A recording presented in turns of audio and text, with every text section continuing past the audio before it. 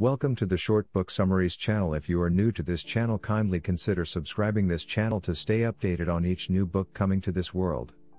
In case you like and want to buy this book, the link is given in the description below. Now enjoy the summary. Instant national bestseller, with over 3 million copies sold. From the number one best selling author of Your Erroneous Zones, a directed and practical book that shows you how to stop being manipulated by others and start taking charge of your own life. Wayne Dyer reveals how we all can prevent ourselves from being victimized by others and begin to operate from a position of power at the center of our own lives. Asserting that we alone are responsible for how much we will be controlled by others, Dyer offers his practical plan for developing new attitudes toward the most common sources of victimization and manipulation, such as family members and authority figures in the workplace. For example, families can be tremendously coercive and demanding, but they can also be an immensely rewarding part of your life.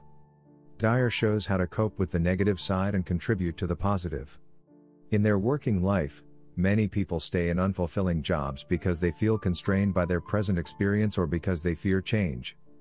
Dyer shows that by being enthusiastic and flexible, you can find the work to be happy.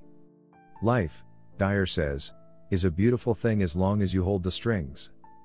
Pulling your own strings will give you the dynamic strategies and tools to master your own fate.